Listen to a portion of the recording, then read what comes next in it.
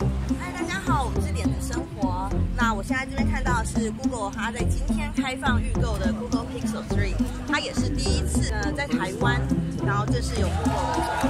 那现在让我们直接来开箱吧。那我们这次借到的是五点五寸跟六四 GB 的版本，它的颜色叫旧式白，所以打开以后你可以看到里面这只白色的五点五寸 Pixel 3，还有它背后这一颗只有一颗镜头。针，它的退卡针也像 Google 的 logo 一样圆圆的，还有就是说明书哦，还有贴纸，Google 的贴纸，嵌入式的耳机，就是充电线，好转接头，这次底部一样没有做耳机孔，所以它也帮你做一个 Type C 转耳机孔，那当然就充电做了。好，我们都知道 Google Pixel 3它有一个很大的特色，就是它是第一款可以支援繁体中文的语音助理。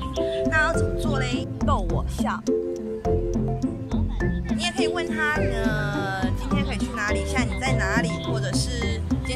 么样？所以之后都可以直接用中文来跟他讲，他也会用中文来回答你。